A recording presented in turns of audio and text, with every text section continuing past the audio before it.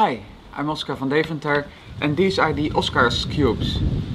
This is a 3D printed uh, puzzle that is uh, remodeled after the mass-produced version of uh, Oskar's cubes, which is this one. This metal version, uh, beautiful uh, puzzle, has been mass-produced by uh, bits and pieces after my design. And you would say, well, why would you 3D print a puzzle that has already been mass-produced?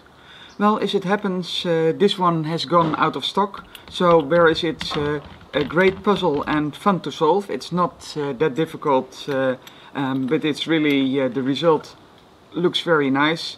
But yeah, um, if it's out of stock, you cannot buy it. So a customer of mine asked me whether I could make it 3D printed, and what you see here is the result. These are um, metallic 3D prints and you see it works the same way. You uh, can take the pieces apart. Let's go. Yeah here one and there one.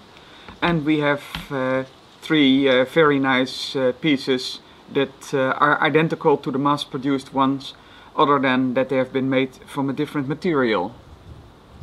And my question today uh, is about this material.